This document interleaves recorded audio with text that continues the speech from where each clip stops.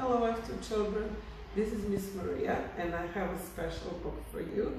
This book is called I Like Myself.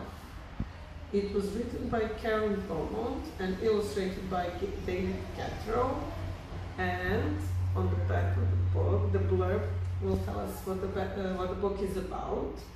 It says, inside, outside, upside down, from head to toe and all around. I like it all. It all is me, and me is all I want to be. An exuberant ode to self-esteem that celebrates the joy of liking who you are. Wishing every child the magic of self-acceptance and love.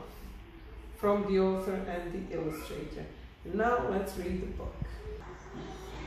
I like myself. I like myself. I'm glad I'm me. There's no one else I'd rather be.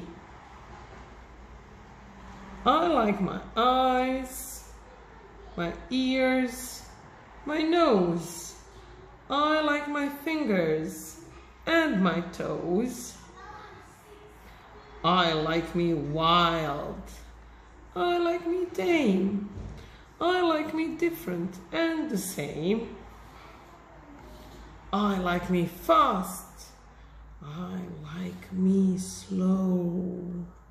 I like me everywhere I go. I like me on the inside too, for all I think and say and do. Inside, outside, upside down, from head to toe and all around. I like it all. It all is me. And me is who, and me is all I want to be. And I don't care in any way what someone else may think or say. I may be called a silly nut or crazy cuckoo bird. So what? I'm having too much fun, you see, for anything to bother me. Even when I look a mess, I still don't like me any less. Cause nothing in this world, you know, can change what's deep inside. And so, no matter if they stop and stare, no person, ever, anywhere, can make me feel that what they see is all there really is to me.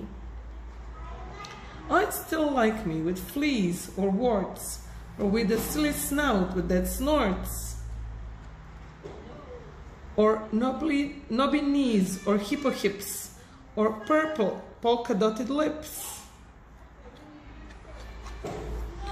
or beaver breath, or stinky toes, or horns protruding from my nose.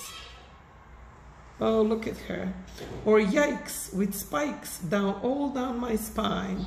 Or hair that's like a porcupine. I still would be the same, you see. I like myself because I'm me. And that's the end of the book.